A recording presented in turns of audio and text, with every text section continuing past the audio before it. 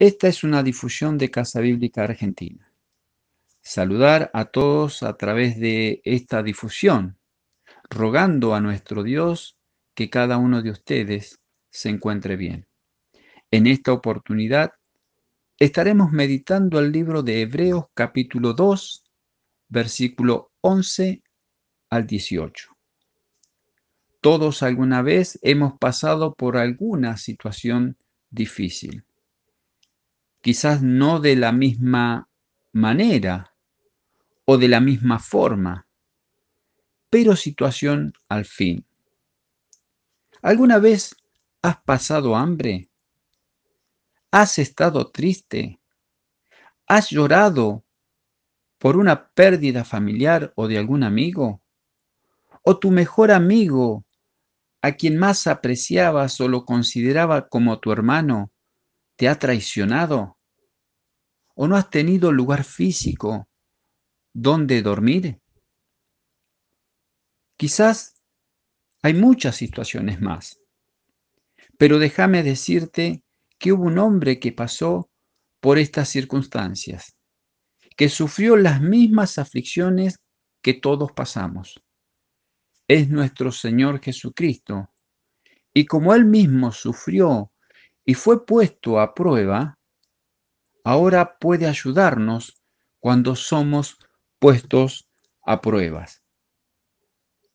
Dice el autor a los Hebreos en el capítulo 4, versículo 15 y 16, pues nuestro sumo sacerdote puede compadecerse de nuestra debilidad, porque él también estuvo sometido a las mismas pruebas que nosotros, solo que él jamás pecó.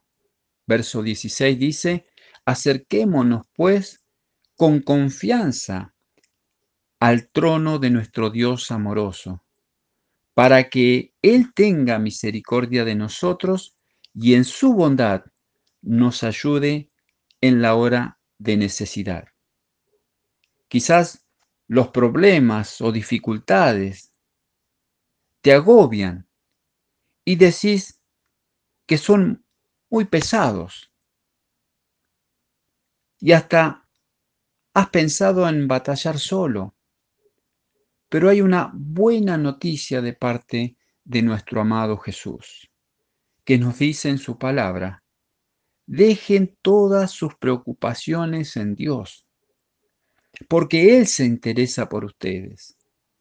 El Señor conoce nuestra débil naturaleza, nos dio su Espíritu Santo, que nos ayuda en nuestras debilidades, y nos ha dado todos los recursos, toda la, la armadura para poder resistir.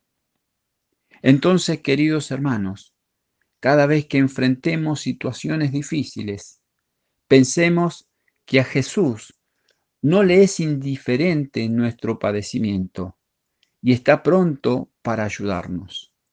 Él es nuestro sumo sacerdote en quien podemos confiar porque sabemos que Él nos ama. Él es nuestro ayudador, nuestro libertador, nuestro descanso. En Cristo está la verdadera libertad. Amén. Que Dios te bendiga y que tengas una hermosa semana.